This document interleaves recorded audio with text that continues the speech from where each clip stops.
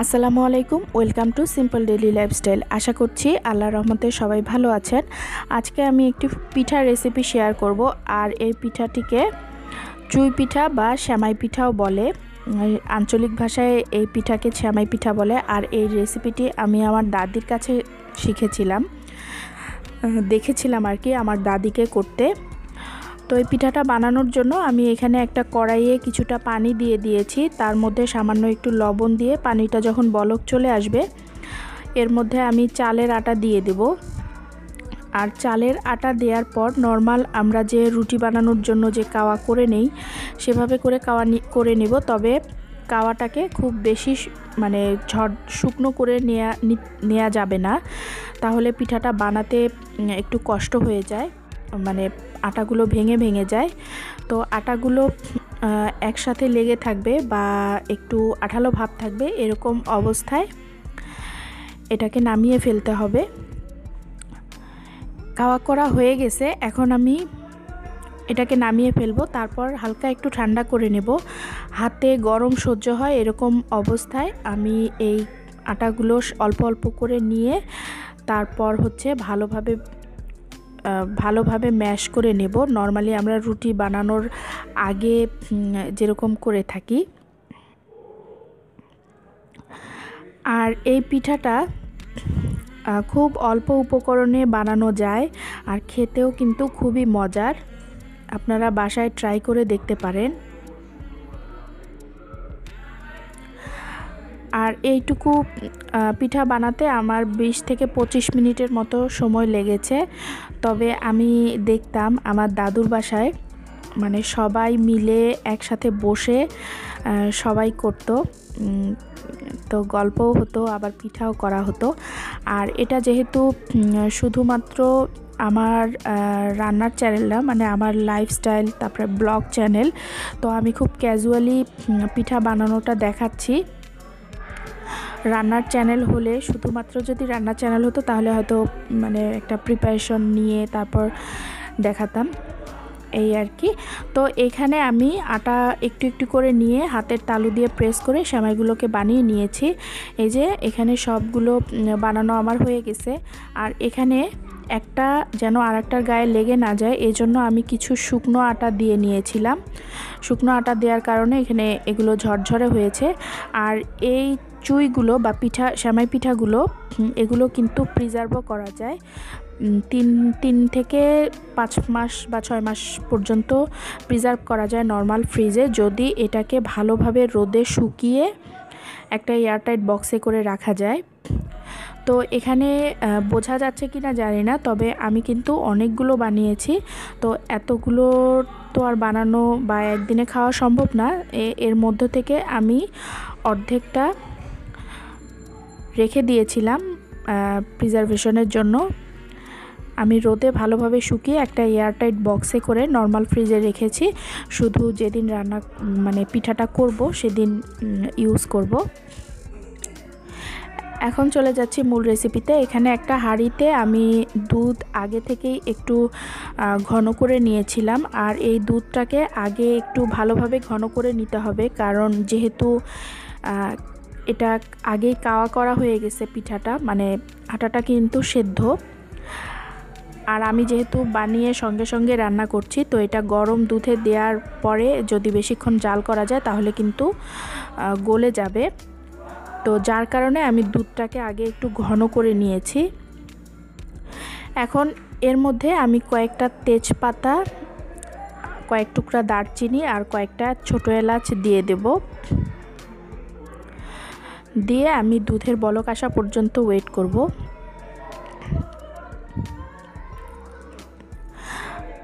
এই পিঠাটা খেতে অনেক মজা আপনারা বাসায় ট্রাই করে দেখতে পারেন আর খুবই অল্প উপকরণে উপকরণে বানানো যায়। বাচ্চারাও খুব পছন্দ করে।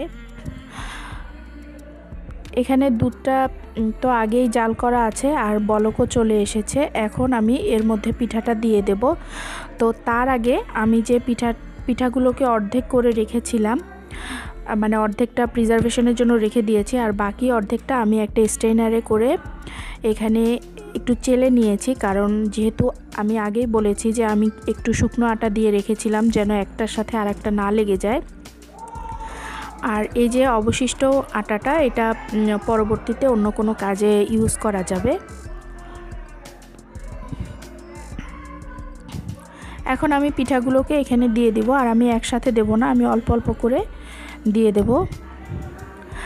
আর এই পিঠাটা দেওয়ার পরে এটাকে কিন্তু খুব আলতো হাতে নাড়াচাড়া করতে হবে, তা না হলে ভেঙে যেতে পারে। পিঠাগুলো ভেঙে যেতে পারে।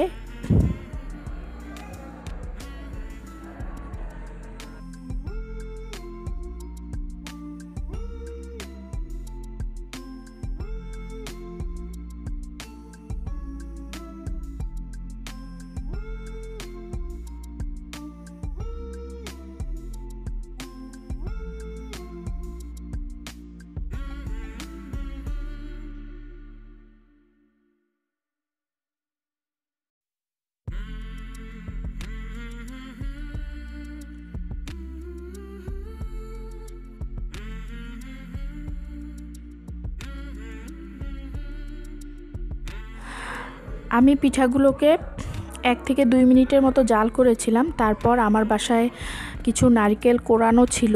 এটা অপশনাল এটা দিলে দেয়া যায়, না দিলে না দেয়া যায়। তবে দিলে একটু টেস্টটা ভালো আসে। কারণ আমরা তো সবাই জানি যে যে কোনো পিঠায় যদি নারিকেল কোরানো দেওয়া যায়, তাহলে কিন্তু পিঠার টেস্ট টেস্টটা ভালো আসে। প্লাস হচ্ছে একটু ঘনত্বটাও বাড়ে।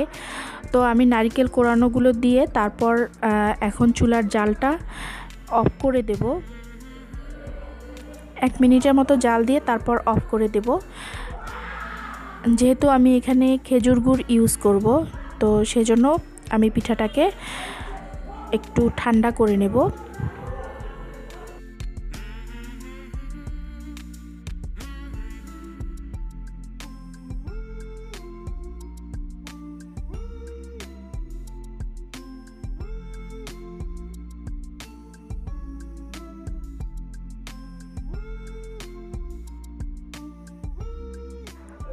আমি চুলার জালটা একটু অফ করে রেখেছিলাম। তারপর উপর থেকে যখন মানে গরম ভাবটা চলে গেছে মানে হালকা গরম আছে তখন সেই মুহূর্তে আমি খেজুর গুড়গুলো দিয়ে দেব।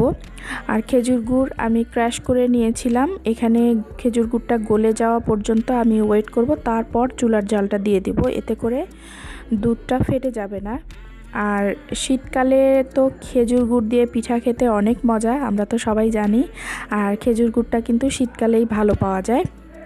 এখন আমি হালকা করে একটু নেড়ে চেড়ে দেবো গুড়টা গলে যাওয়া পর্যন্ত। তারপর আমি এক থেকে দুই মিনিটের মতো, তারপর আমি পিঠাটাকে নামিয়ে ফেলব।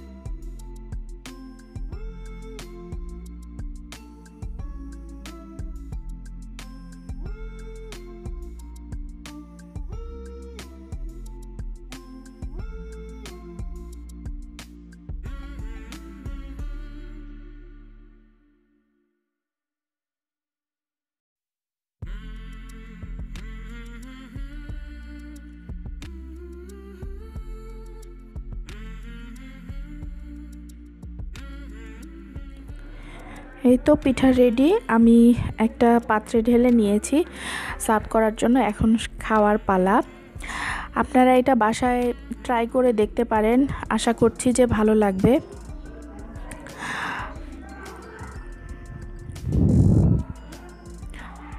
আর শীতকালে দেখা যায় যে ঠান্ডায় কিন্তু মানে পিঠা বানাতে তো অনেক অনেক পিঠা আছে, খুব ঝটপট বানিয়ে ফেলা যায়, আবার অনেক পিঠা আছে যে অনেক কষ্ট করতে হয়। তো এই পিঠাটা করতে খুব একটা কষ্টের প্রয়োজন হয় না, শুধু বানাতেই যতটুকু সময় লাগে। মানে হার্ডলি চল্লিশ থেকে এক ঘণ্টার মধ্যেই হয়ে যায়। পুরো প্রসেস শেষ করতে। তো এই ছিল আমার ভিডিও চুই পিঠা বা শ্যামাই পিঠার। আই হোপ যে ভালো লাগবে। যদি ভালো লাগে প্লিজ লাইক কমেন্ট শেয়ার করবেন। আর সবাই ভালো থাকবেন। আজকের মতো এই পর্যন্তই। আল্লাহ